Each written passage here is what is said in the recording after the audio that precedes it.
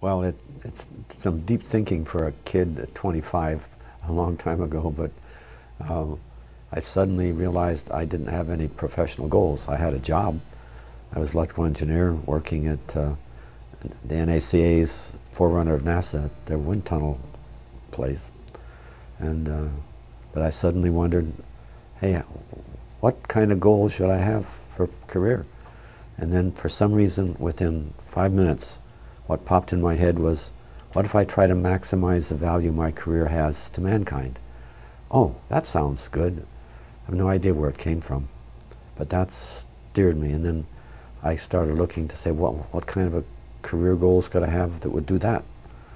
And uh, I almost exhausted myself looking at all the things I began to call them crusades and realizing that that was very hard and, and uh, really very difficult. And so one day it just, uh, it just dawned on me, gee, you know, it's, it's very hard, tough, complex problems, and they have to be dealt with collectively, the big, tough problems.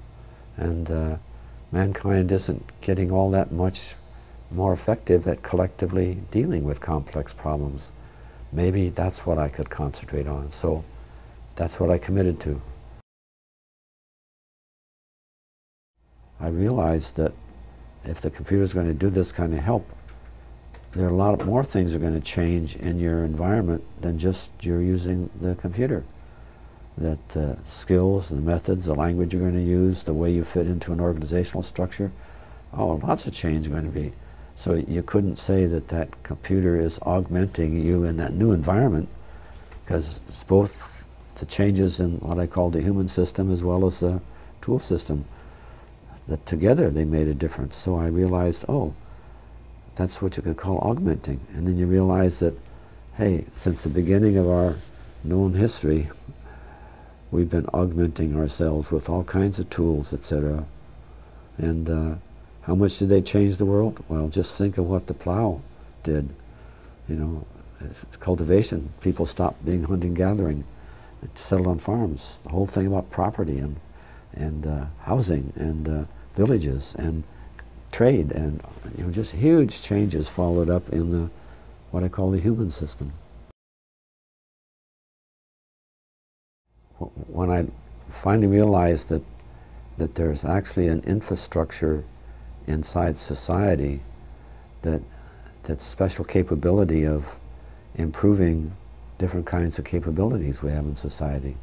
And so the capability that I began to get more important then was this augmenting the human intellect and in a, in a collective way. So I ended up calling it boosting the collective IQ, which you can make it a real analogy to that. So how smart is any, any group of people to, to cope, to understand, to get a plan, to incorporate it, to handle its resources, etc. And uh, so that term means very meaningful to me. And uh, you're going to get more collective IQ by improving the augmentation system, of which there's a lot of potential. And so we talk about facilitating the evolution because the complexity of that future is much greater than can be handled by any individual or organization as far as planning for how they ought to be in five years or ten years. Look, it's a combination of developing knowledge, integrating it, and applying it. I begin to think about the improvement process, etc. And then I realized, oh, um, probably every organization, if it's going to change, has a explicit category of activities. That one of them is doing your everyday work, and the other one is improving your capability to do that work. And uh, so that, I just called them A and B.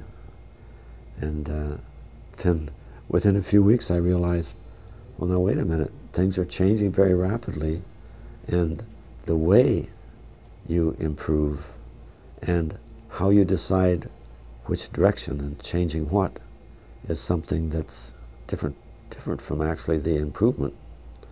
So I finally said, you need a a C kind of activity too. So I start talking about a frontier out there. and that everybody's sort of sitting at a certain capability level, and there's a capability frontier out there because the technology is booming ahead, and all kinds of options for how you change your learning and your human system. So, hey, it's a whole unexplored frontier.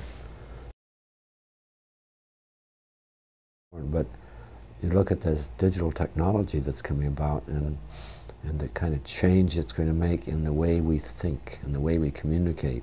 And I don't mean that you can now communicate with email. I mean the actual the symbols and the way you portray your thoughts to people. The computer has so much more flexibility in making dynamic things in color in three dimensions and moving, etc., that we, I'm just sure we're going to learn how to have some of the communication come from stored things in these very much more dynamic ways.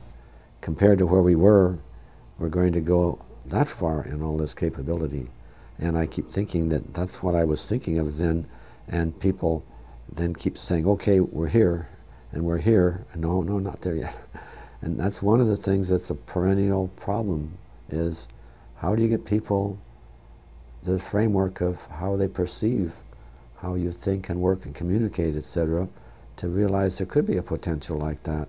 And if there is, it would just be hugely important to society that it gets so we can understand what's happening better, and especially what we can understand of all the complexity that's charging down.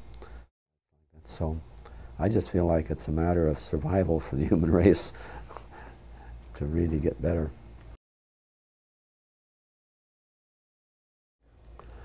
Yes, well, I, I don't want to spoil it, but but I feel uh, that it's um, kind of a rare thing when I get an audience that'll listen to me. See.